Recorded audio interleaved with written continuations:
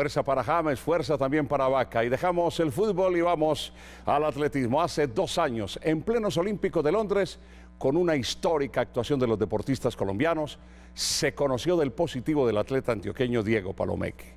Ya cumplió su sanción de dos años, aprendió la lección y está dispuesto a dejar limpia su imagen deportiva. Hoy recibió la buena noticia, volverá a competir y lo hará en un certamen internacional en México.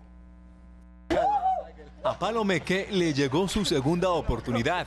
Muy feliz, me siento contento, me siento un poco nervioso, me siento ansioso. Y no es para menos, esta semana el velocista antioqueño cumplió los dos años de sanción por dar positivo en un control de dopaje en Londres 2012. Pasaron muchas cosas, al principio pensé en retirarme, ya que me sentía un poco abrumado, me sentía un poco descuidado. Entre las personas más cercanas encontró la fuerza para no derrumbarse. Mi mamá, mis hermanos, mis compañeros, Indeporte estuvo conmigo en las buenas y en las malas. Además, las buenas noticias no paran.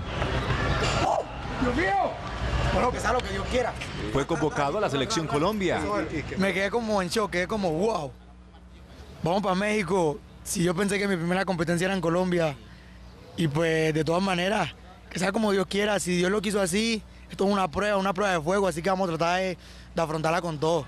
Hoy, Diego Palomeque es dos años más consciente de su papel como deportista y de su compromiso personal. Y vamos a darla a todas porque si estamos aquí parados, porque todavía tenemos con qué.